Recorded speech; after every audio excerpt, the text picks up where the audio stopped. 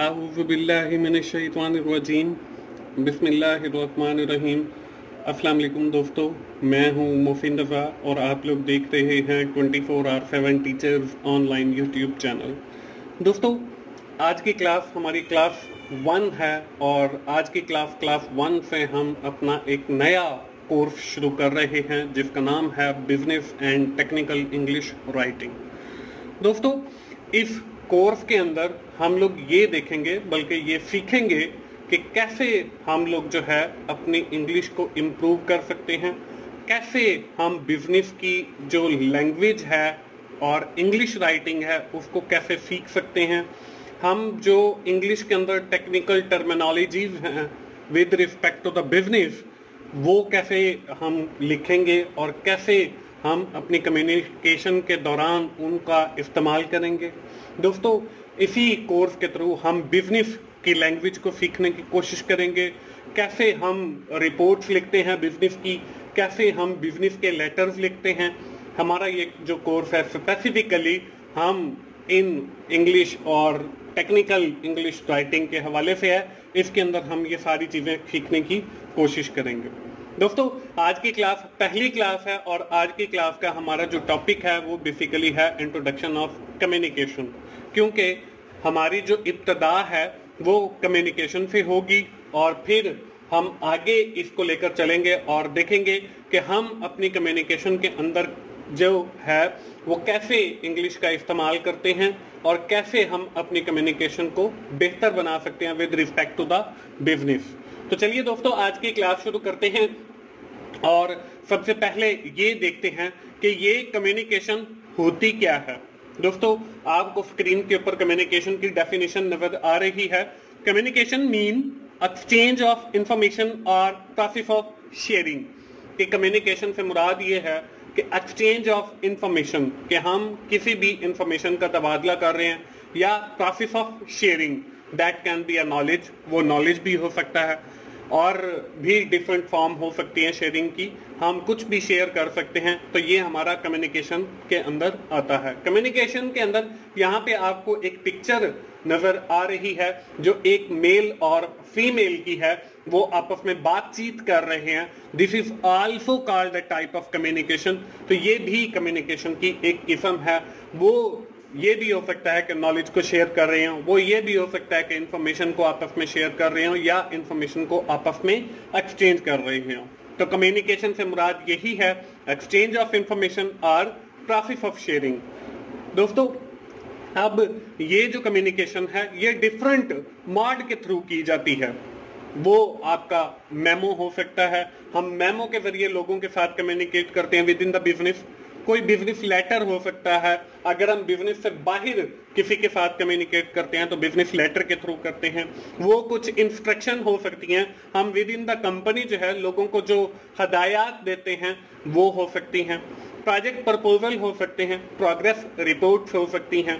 तो दोस्तों, इस पूरे कोर्स के अंदर हम ये सीखेंगे कि कैसे हम मेमोज को लिखते हैं, कैसे हम बिज़नेस लेटर को लिखते हैं, कैसे हम इंस्ट्रक्शंस वाले मेमो को लिखते हैं, कैसे हम प्रोजेक्ट प्रपोजल को लिखते हैं, कैसे हम प्रोग्रेस रिपोर्ट को लिखते हैं, और भी डिफरेंट चीज़ें जो हैं हम इस कोर्स के अंदर सीखेंगे कि कैसे हम जो है अपनी इस कम्युनिकेशन को जो है वो बेहतर बना सकते हैं, और कैसे हम अपनी रिपोर्ट राइटिंग जो है, या सिंपल राइटिंग या इंग्लिश राइटिंग में कहूँ कि वो कैसे बेहतर कर सकते हैं।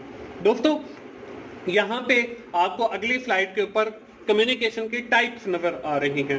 दोस्तों there are two types of communication the first one is the oral communication and the second one is the written communication अब ऑरल कम्युनिकेशन क्या होती है और रिटर्न कम्युनिकेशन क्या होती है?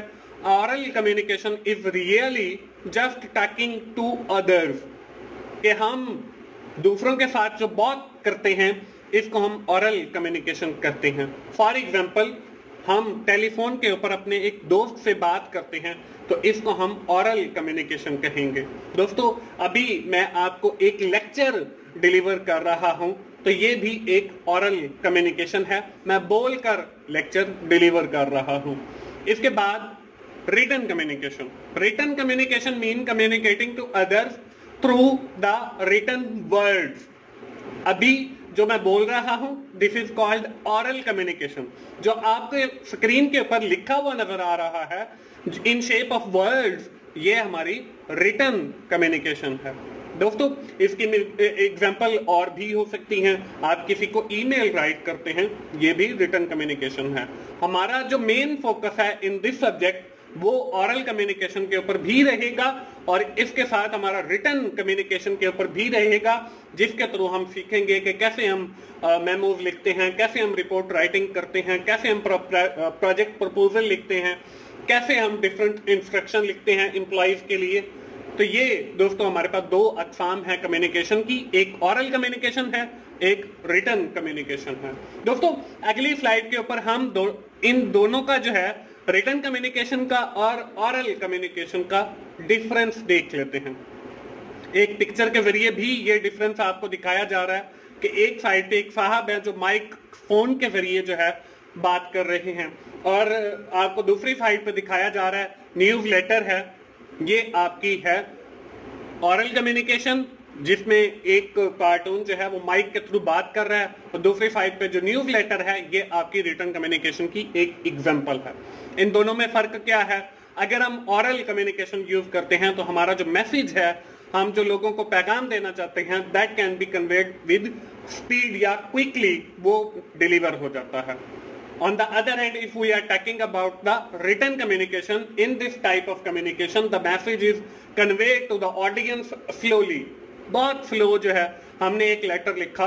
अब हमने यहाँ मुल्तान से वो लेटर जो है कराची भेजना है तो यहाँ से देखें कितना टाइम लगेगा आपको लेटर पहुँचाने में, या लेटर पहुँचने में।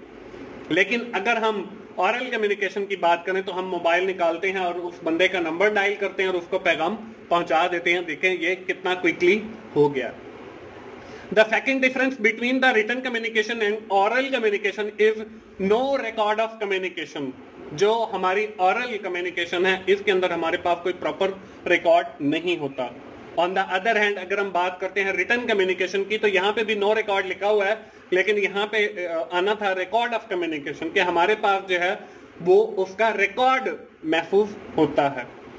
अगली जो आपको पॉइंट नज़र आ रहा है, वो है communicate with the word of mouth कि हम जो अल्फाज मुँह से बोलते हैं ये भी हमारे पास ऑरल कम्युनिकेशन के अंदर आता है और अगर हम रिटर्न कम्युनिकेशन की बात करें तो वो हमारे पास with the help of a text with the help of the words with the help of the paragraph तो ये सारे जो चीज़ें हैं वो मिलकर रिटर्न कम्युनिकेशन बनाती हैं। तो दोस्तों, ये बेसिकली डिफरेंस है रिटर्न कम्युनिकेशन और ऑरल कम्युनिकेशन का। दोस्तों, अगली स्लाइड पे हम ये देख लेते हैं कि हमारा ये जो टेक्निकल इंग्लिश राइटिंग का कोर्स है, इसको हम क्यों पढ़ रहे हैं।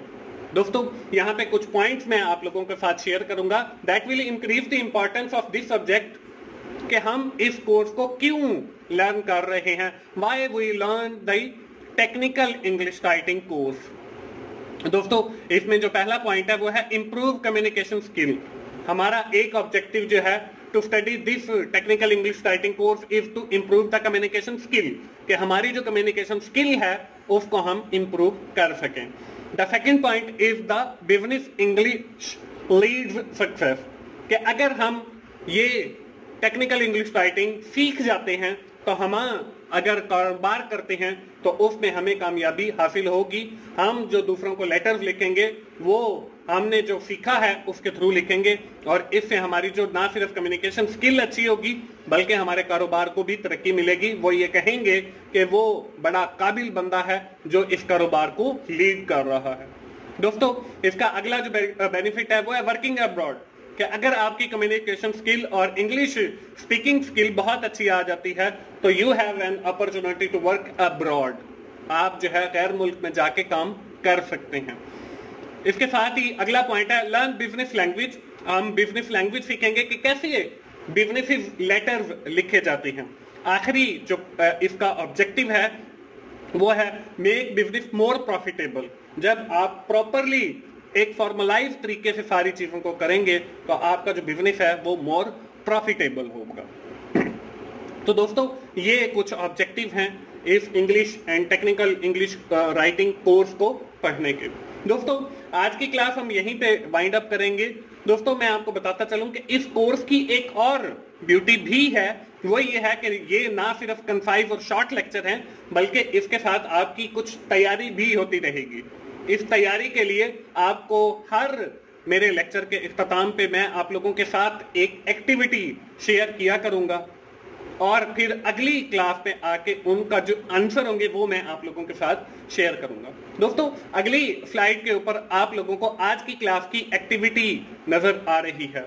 इसमें चार क्वेश्चन आपको नज़र आ रहे हैं और ये चार जो क्वेश्चन हैं वो मैंने आज की ही इसी क्लास से जो है वो ड्रा किए हैं। टू नो अबाउट दैट कि आपको आज की क्लास की कितनी समझ आई है।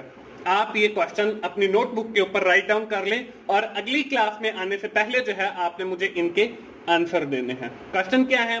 पहला क्वेश्चन है which of the following is more effective technical communication second question है talking on mobile with your friend is an example of third question है communication can be define as और लास्ट क्वेश्चन है writing an email is response of verification of the registration is known as ये चार question के जो है, अगली class में आने से पहले आपने मुझे जवाब देने हैं। दोस्तों, आज की क्लास हम यहीं पे वाइंड अप करेंगे और एक बार क्विकली जो है वो समराइज करते हैं कि आज की क्लास के अंदर हम लोगों ने जो है वो क्या पढ़ा है। दोस्तों, आज की क्लास के अंदर हमने सीखा है what is mean by communication communication से क्या मुराद है? We have seen the different types of communication हमने दो अकसाम देखी रिटर्न कम्युनिकेशन की और ऑरल कम्युनिकेशन की।